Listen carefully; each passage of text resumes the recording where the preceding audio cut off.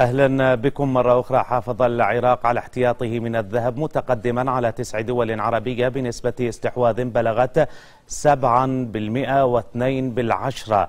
ووفقا لأحدث البيانات الصادرة عن مجلس الذهب العالمي فإن العراق استمر في المركز الثامن والثلاثين بحجم احتياطات هي ذاتها منذ مطلع العام الحالي عند 96 طنا و300 كيلوغرام. أدخلت شركة الاستكشافات النفطية التابعة لوزارة النفط المنطقة الغربية ضمن خطتها الاستكشافية للبحث عن مكامن الغاز استجابة للطلب المتزايد محليا وعالميا. وقال مدير عام الشركة نشوان محمد نوري لوكالة الأنباء العراقية أن عملية الاستكشافات التي تجريها الشركة شاملة لجميع مناطق البلاد إلا أن تزايد الطلب على الغاز دفع للتركيز على المناطق الغربية التي تحتوي على مكامن غازية ضخمة. وأضاف أن فرقنا الاستكشافية أصبحت منافسة للشركات الأجنبية لما تمتلكه من خبرة وأداء متميز فضلا عن حصولها على شهادات عالمية بذلك. مشيرا إلى أن الوزارة تمتلك سبعة فرق يصل عدد عامليها أكثر من أربعة آلاف منتسب.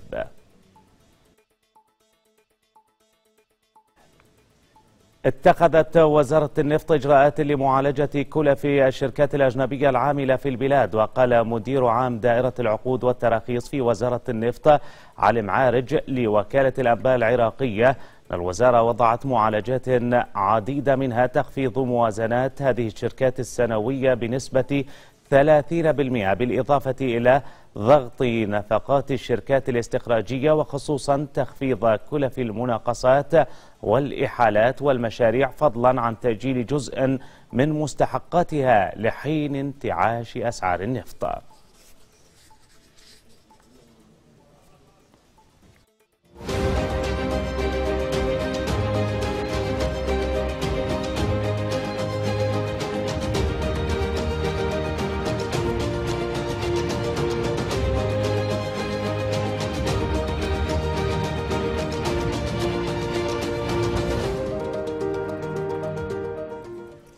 أعلنت هيئة المنافذ الحدودية أن منفذ مقصر الأوسط في محافظة البصرة حقق إيرادا نتيجة الحركة التجارية في دخول البضائع والسلع. بلغ أكثر من ثمانية مليارات و842 مليون دينار خلال أسبوعين.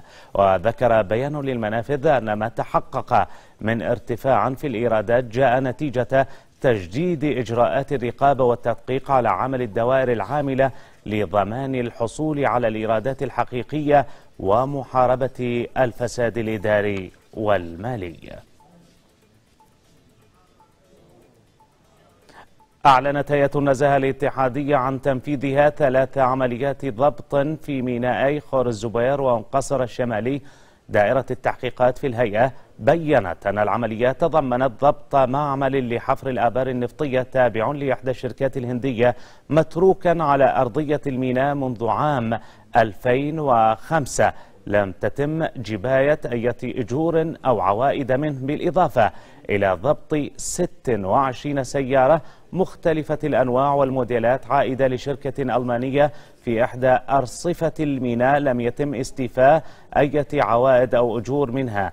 أما في ميناء أم قصر الشمالي فقد تمكنت كوادر المديرية من إحباط محاولة لتهريب 12 سيارة دون الموديل كانت معدة للتهريب داخل ثلاث حاويات حديدية تم التلاعب بتصاريحها الجمركية. أعلنت دائرة الرقابة التجارية والمالية عن ضبط كميات من مادة الرز نوع الياسمين. المخزون لم يتم تثبيتها ضمن رصيد المخزن في الحاسبة بمحافظة النجف الأشرف. وقال مدير الدائرة محمد حنون أن الفرق الرقابية للدائرة تمكنت من إحباط عملية إخراج 1036 كيسا من مادة الرز وبكمية واحدة وخمسين 1800 طن. مبينا أن هذه الكميات تم تثبيتها زيادة على المخزن والتي توفر حصة 19 ألفا فرد. وتقدر مبالغها بواحد وخمسين مليون وثمانمائة ألف دينار بالسعر التجاري.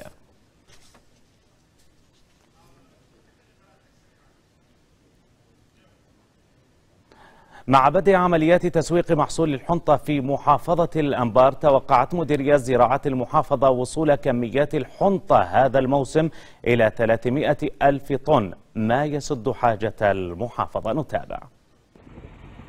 موسم زراعي ناجح لمحصول الحنطة في الأنبار. نتاجه حصد الآلاف من الهكتارات. المزارعون شرعوا بتسويق المحصول لفرع الشركة العامة للحبوب في المحافظة التي هيأت من جانبها المخازن الخاصة لخزنها.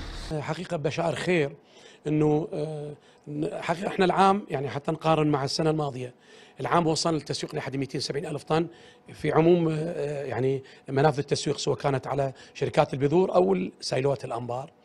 السنة نتوقع هذا الرقم يمكن هم أعلى شوي من هالرقم هذا. قد نصل إلى 300 ألف طن إن شاء الله هذا العام. قدمنا كل التسهيلات للمزارعين من ناحية البذور واستلام الأسمدة والتجهيزات الزراعية. كذلك آه، قدمنا آه، تسهيلات في يوم التسويق إنه آه، صار توجيه من مديرية زراعة الأنبار. يكون التسويق من الشعب الزراعية حصرا وليس من مديرية زراعة الأنبار.